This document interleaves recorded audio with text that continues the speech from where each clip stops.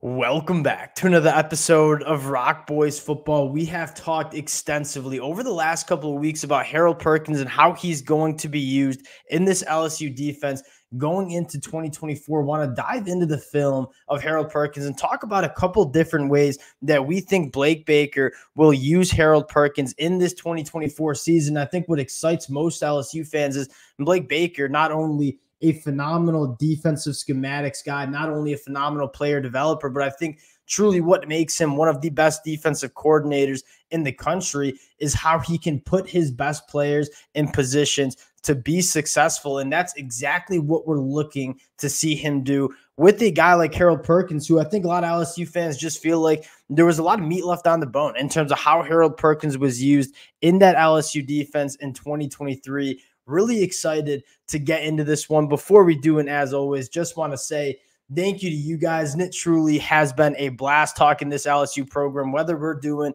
the film deep dives, whether we're covering this team on the recruiting trail. Cannot thank you guys enough for rocking with the fellas. If y'all do enjoy the content, consider subscribing to the channel. And without further ado, let's get into this one. And I think it starts with Blake Baker coming in and kind of taking a look at what Harold Perkins did in 2023. And I think the main difference that you see on the film and the numbers back it up is they didn't have Harold Perkins around the line of scrimmage, around the football nearly enough in 2023. We go back to what Harold Perkins does the best. It's rushing the passer, it's coming up being an athlete in space. And so many times, over 255 snaps to be exact, Harold Perkins was playing that slot defender role, not near the line of scrimmage, not being a threat in the pass rush and in the run game. And you look at Harold Perkins and what he did so well as a true freshman in that LSU defense, it was rushing the passer, it was being around the line of scrimmage. So many different ways that LSU can involve Harold Perkins. But in my mind,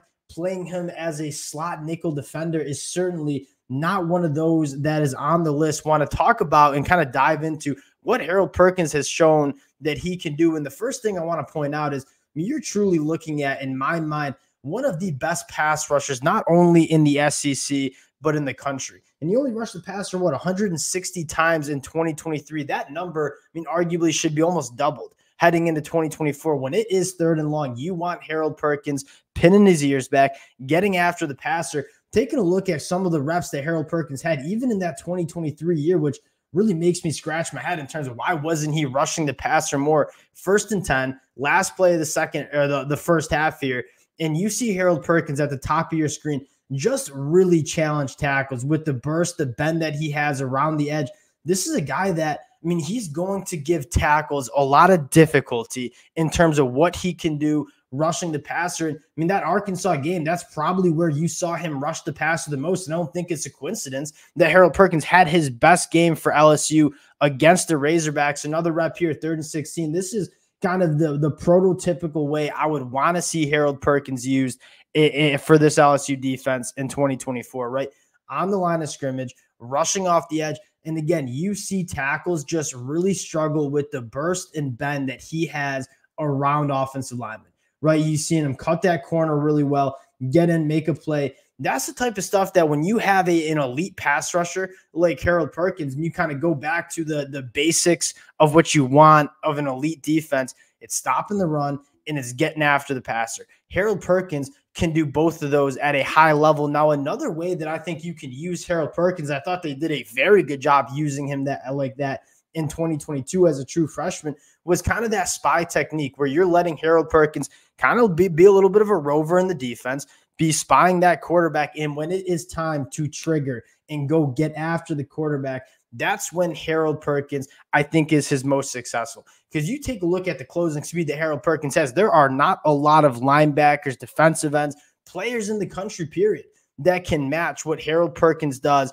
in terms of hawking ball carriers down and closing the distance. You go back to that 2022 film uh, for LSU on defense and how they used Harold Perkins as kind of that spy where you're showing pressure. He's going to back off and play that spy role right here. Number 40 now changes number. And you're going to see he's going to wait for Bryce Young to break the pocket. And when he does, Harold Perkins in his ability to trigger downhill, close the distance, go find the quarterback. Mean, it's next level, right? Comes up, getting a third down stop, being very impactful. Same game, Alabama 2022, very similar situation, third and five You're lining Harold Perkins up right really over that center guard here. You're showing pressure. You're going to have him end up just sitting there, be a spy, be that rover of the defense here. And then when Bryce Young tries to go extend the play, you're going to see Harold Perkins close the distance extremely well and go make a play on Bryce Young, who again was one of the more craftier quarterbacks in terms of making people miss. Not many players across the country can do what Harold Perkins can do at that quarterback spy role. And you look at the evolution of football with how many athletic quarterbacks there are, especially in the SEC. Having a, a player like Harold Perkins that you can really rely on to be the spy of that quarterback is absolutely massive. And one of the things that I think is probably the most underrated aspect of Harold Perkins, and I think what made LSU maybe put him in that slot position a little bit more than he should have been in my mind, is this is a guy that can get involved in the run game as well. You take a look at again that Arkansas game where I thought Harold Perkins was not only used the right way, but a guy that showed that he can be someone who's a hammer and run defense as well. First and 10, right? A lot of the reps that you saw here, Harold Perkins was split out wide, away from the football, away from the line of scrimmage, not really being given the opportunity to get involved. You see the play right here. Two things that I really like. One, physical at the point of attack with this tight end, keeping his outside shoulder free. And then when it is time to make sure that running back's not getting to his outside, again, not many players that can beat Harold Perkins to the corner, to the boundary. You see him really stretch this one out make a play for a tackle for loss. That's the type of stuff that I think Harold Perkins can do and doesn't get enough credit for doing as well. Third and three, very similar situation. Again, putting him along the line of scrimmage, getting him involved in that run game or pass rush on a third and three situation. You're going to see just kind of a basic read option from Jordan Travis. Harold Perkins coming up and absolutely sticking Jordan Travis. This is someone that I think can be a force in the run game that I don't think LSU quite recognized last year. And this is kind of highlighting why I thought Harold Perkins was used wrong last year, right? Over 255 snaps as kind of that slot defender, right? You see him kind of head up on the slot wide receiver. That is not where you want to see Harold Perkins be Harold Perkins being used. And that's not necessarily saying he can't do that. Cause I thought you saw him take some massive strides in what he could do in coverage but it's more that football is all about using your best players in the best ways possible. In my mind, Harold Perkins is the best player on this LSU defense, and that is not the best way that he can be used, and certainly not the best way he can be used in terms of impacting a college football game, right? And so when you go to Harold Perkins, and I think what starts with LSU is we have to see massive strides from LSU specifically on the defensive side of the football. You bring in Blake Baker not only to fix the schematics of this defense, especially in the back end, not only to develop the young talent that he's shown he can certainly do at Missouri. I think the one of the things that I'm most uh, excited for in terms of Blake Baker taking this job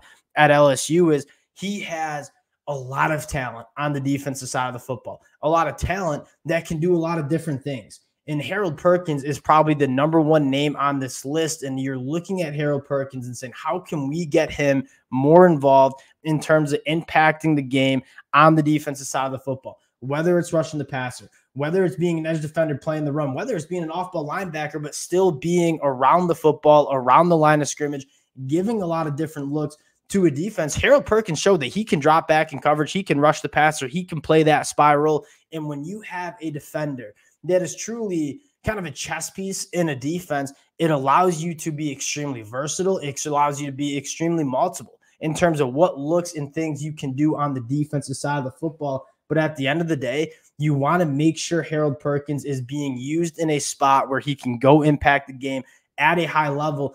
Now, LSU, we said this. Yes, they had some injuries that kind of forced some young talent onto the field in 2023 this is a talented defense. And if it gets put together, if it gets used the right way, if the schematics go in the right direction, this is an LSU defense that I think can take some immediate strides in 2024. We all know that offense still going to be extremely dangerous.